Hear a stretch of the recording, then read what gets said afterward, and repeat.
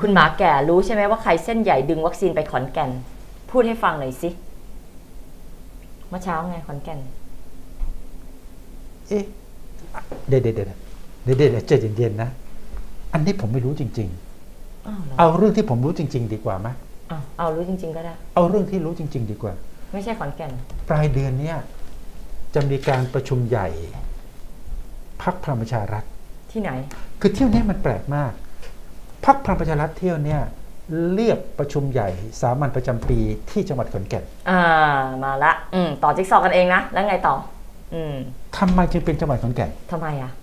เพราะขอนแก่นพลังประชารัฐเจาะฐานของเพื่อไทยได้ตั้งสามที่นั่งค่ะ ได้ตั้งสามสสอืมเพราะเพราะขอนแก่น มีแกนภาคอีสานคนหนึ่งของพลังประชารัฐชื่อเอกราชช่างเหลาอืม เพราะเอกราชช่างเหลาก็ผูกเสี่ยวอยู่กับผู้กองธรรมนัฐอืมเอกราชช่างเหลากับผู้กองธรรมนัฐพรหมเผ่าเขาหากินด้วยกันมาตั้งนานนานอืมเคยเคยเคยค้าโควต้าหวยมาด้วยกันอ๋อเคยค้าโควต้าหวยมาด้วยกัน สนิทแนบแน่นเคยเคยทำธุรกิจ real estate มาด้วยกัน โอ้ไม่ธรรมดาเคยจับมือกันไปประมูลที่ดินผืนใหญ่มากๆเลย ริม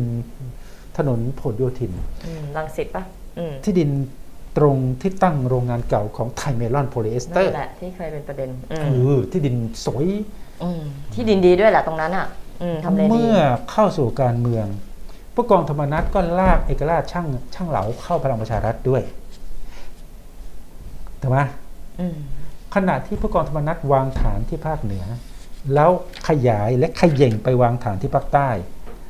ในเวลาเดียวกันก็คู่ขนานไปกับการตะลุยยึดฐานที่มั่นทางภาคอีสาน โดยมีเอกเอกราชช่างเหลาเนี่ยเป็นเป็นเป็นคู่หูคู่คิด เป็นหัวหมู่ทะลวงฟัน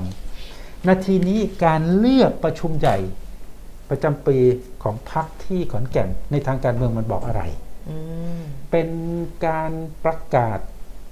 ยุทธศาสตร์ที่จะตี ที่จะตีเมืองหลวงยึดยึดเขาตีเรียกเมืยึอดงหลวงเมืองที่สองของพรรคเพื่อไทย ยึดยึดเขาเรียกยึด แล้วมันโยงกับวัคซีนที่ได้เยอะไหมเดี๋ยวนะ เกี่ยวกันไหมเดี๋ยวนะไม่คุณนี่แวถามสวซื่อเดี๋ยวเดี๋ยวเดี๋ยวคุณแววสาวถ้าวันเนี้ย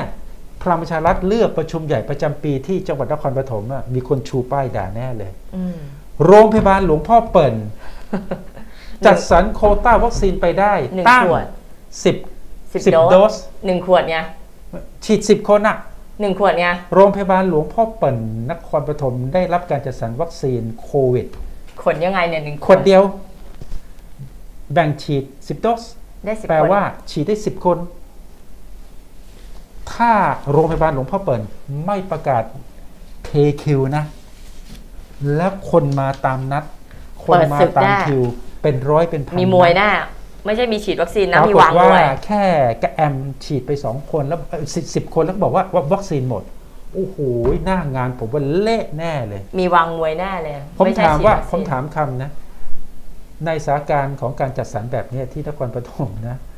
กล้าไปจัดอืมประชุมใหญ่ที่นั่นแหละ ที่จังหวัดนครปฐมเหรออืมท่านแน่จริงไม่นะไม่